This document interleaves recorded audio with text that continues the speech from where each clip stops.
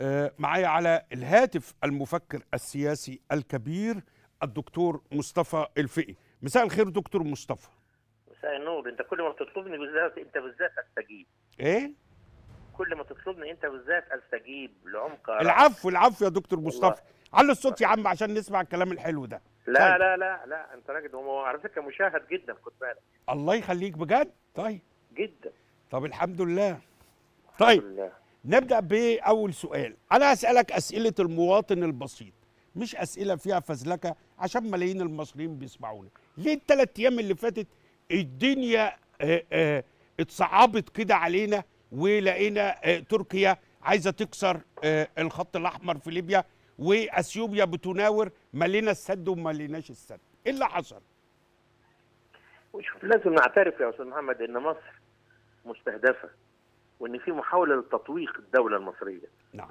سواء بالإرهاب في سيناء من في البداية أو بالعبث بخط الحدود بيننا وبين ليبيا والمنطقة الشرقية هناك بالذات أو بما جرى من جانب إثيوبيا في السد الإثيوبي الذي يعني يعتبر عملية كيدية كبرى يعني مؤامرة كبرى على مستقبل وإزدهار وحياة مصر والمصريين وربما السودانيين أيضا.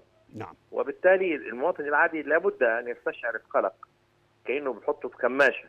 نعم. ممكن يبتدي ملء السد في فترة يحرك فيها قوات تركية عشان يبقى مخليك موزع ال- ال- المشاعر مشتت الذهن. الاهتمام.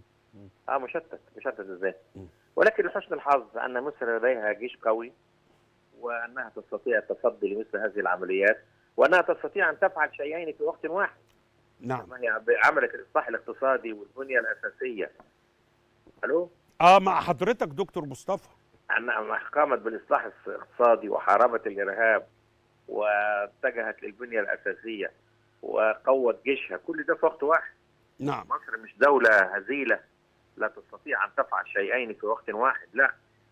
هي دولة كبيرة ولها تراكم من الخبرات يجعلها قادرة على فعل أي شيء. ألو؟ أيوه. طب ليه الرسالة دي مش واصلة لأثيوبيا بهذه القوة والوضوح؟ هي بتعادي الدولة المصرية بقوتها الحالية. هم شوف ده تراكم لعقد تاريخية ومشاعر تجاه مصر القديمة. ويعني أنا عايز أقول لك إنه ده في- علاقة تاريخية حتى. ما بين بنو إسرائيل وما بين سكان إثيوبيا.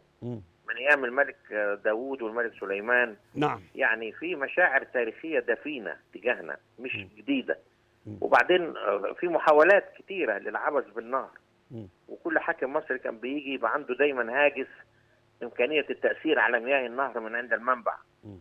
محمد علي جاله هذا الحاجز آه، آه، عبد الناصر جاله هذا الحاجز محمد علي قال جملته الشهيرة اذا حدود مصر من أثيوبيا أيوة. آه لما قالوا له. أن النيل ينبع من أثيوبيا فقال إذا حدودنا تبدأ من هناك يعني مم.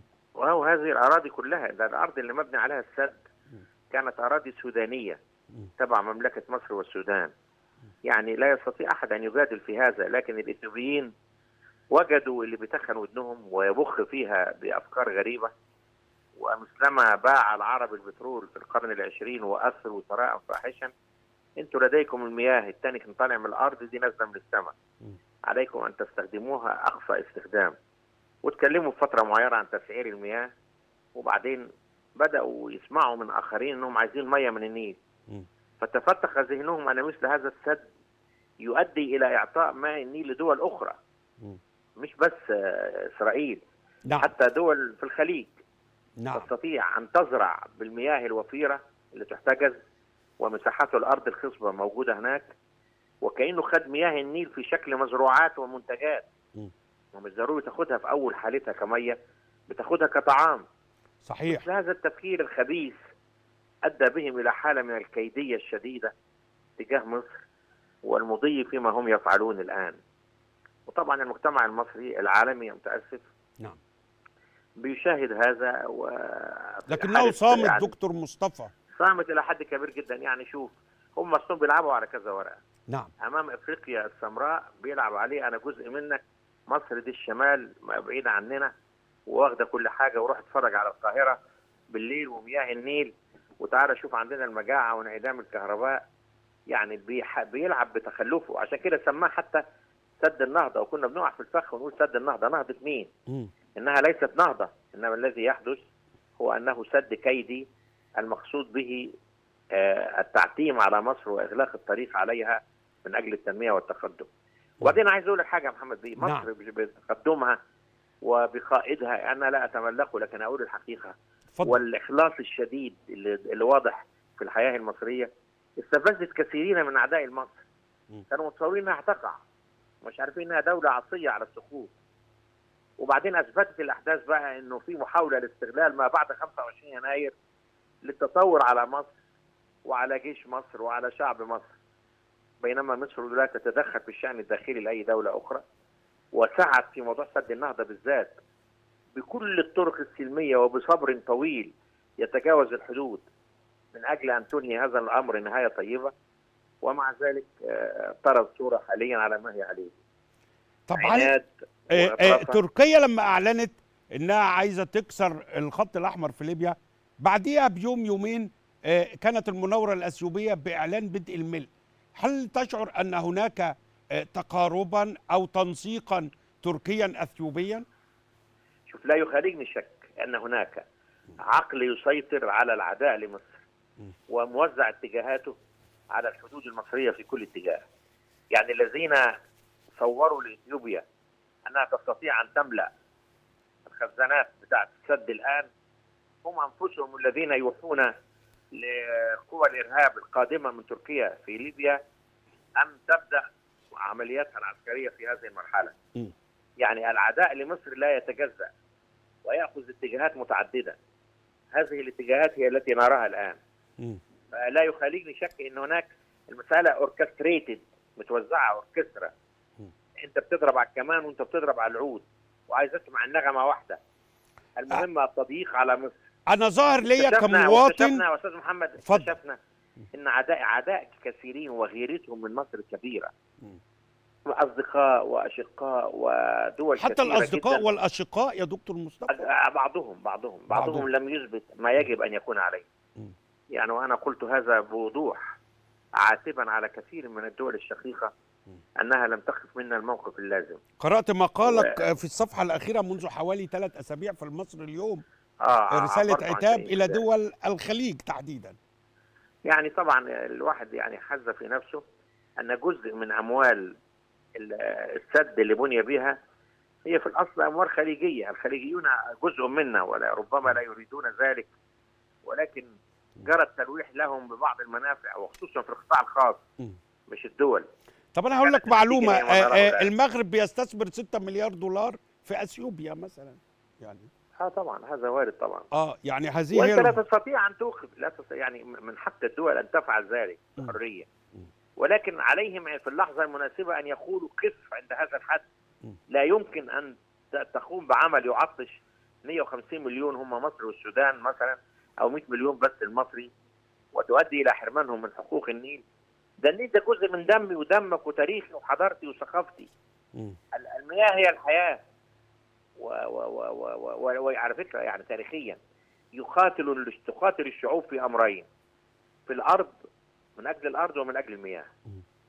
طول عمرها مصادر المياه ووحدة الأراضي. في ملف سد النهضة كل السيناريوهات مفتوحة؟ بالتأكيد مفتوحة بس طبعا إحنا لا نتمنى الوصول إلى حل عسكري ولا نصل إليه. إنما لأنه برضو أنت في الدول جوار وبينك وبينهم انت عارف زي الراجل ومراته عندهم عيال مشتركة. انت بينك وبينه النيل. مش هتقعد تعمل دماء بينك وبينه. لابد من الوصول إلى تسوية. لأن ما, ينفعش فيها ابدا آه، اتخاذ موقف حد على حساب طرف آخر. أين دور الاتحاد الأفريقي؟ وأنا لم أجد له دورا قويا فاعلا. في أزمة هو خطيره بيحاول لكن برضه برضه أنا خد بالك إنه يعني هناك أنا في رأيي على الأقل من خلال رؤيتي لبعض الدول الأفريقية والعناصر الأفريقية هناك شيء من التعاطف مع إثيوبيا. لأسباب تاريخية وأسباب آه، مش عايز أقول عليها شبه عنصرية لكن لديهم أحيانا إحساس بأن آه، إثيوبيا الفقيرة المحرومة تريد أن تبني وأن تنمو وأن مصر تريد أن تستأثر بمياه النيل. طبعا هذا كذب وافتراء. صحيح ومصر هي التي علمت كل هذه المنطقة وطببتها وهندستها وعلى الجميع أن يعترف لها بالفضل في هذه اللحظات حركات التحرر الأفريقية خمسينيات طبعاً. وستينيات عبد الناصر يعني كان عندنا هنا خمسة شارع أحمد حشمت في الزمالك يا أستاذ محمد مم. خرج منها أربعة رؤساء دول في يوم أنا فاكر كانت مم. 61 مم.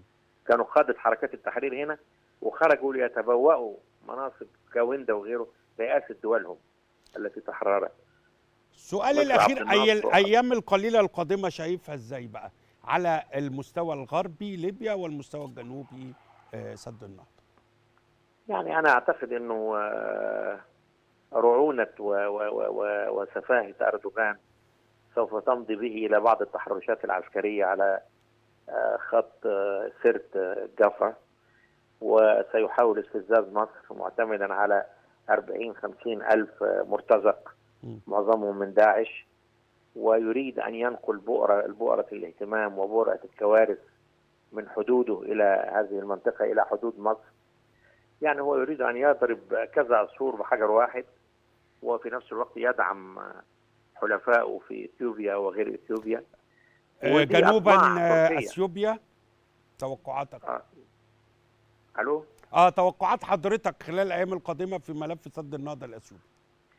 والله أنا قرأت إنهم لن يجرؤوا على الملء على الملء آه، بهذه الطريقة التي يتحدثون عنها أمام العالم لا. ولذلك حتى أقول لك إحنا بدأنا نملي وبعدين يبتدوا يعملوا اعتذار. عمليات كلها جس نبض لأنه عارف ان مثل هذا الأمر هيكون له repercussions يعني يكون له أصدقاء ضخمه اصداء ضخمة جدا دوليا واقليميا.